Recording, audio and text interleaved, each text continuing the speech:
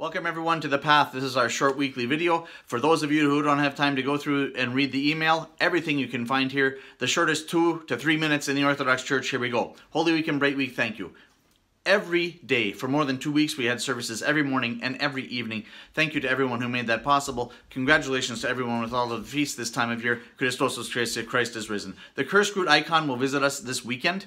Uh, it'll be with us on Saturday evening and Sunday morning for both liturgies, but we want to also keep the church open all night Saturday. You can sign up at the link on your screen now. Please do that as soon as possible. We also want to visit the sick and the homebound. I need to know who wants to have the icon visit them though, so please reach out to me so that we can do that.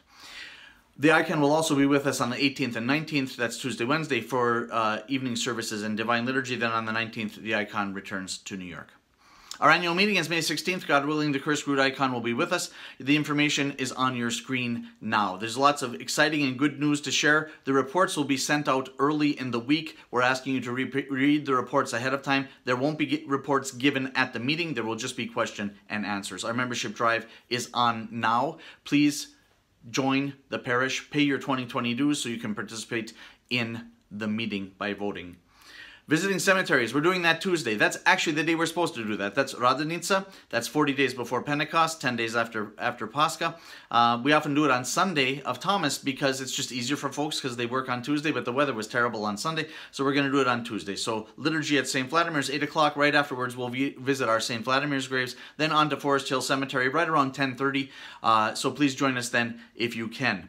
If you have graves which are farther away, please let me know and we'll find a way during this Pentecost time to visit them. All the time between Pascha and Pentecost is called Pentecost, so that's what I mean when I say during the Pentecost time. Services this week, Monday evening, Tuesday morning, that's Radonitsa. Friday evening, Saturday morning, that's our all English cycle for this month. We're pulling that ahead a week for various reasons, uh, so please join us for those as you can. Then Saturday night and two liturgies on Sunday as always, sign up for services in the church, please. That really helps us a lot. Ann Arbor, Orthodox Classical Academy, things are moving forward. Windows are going in.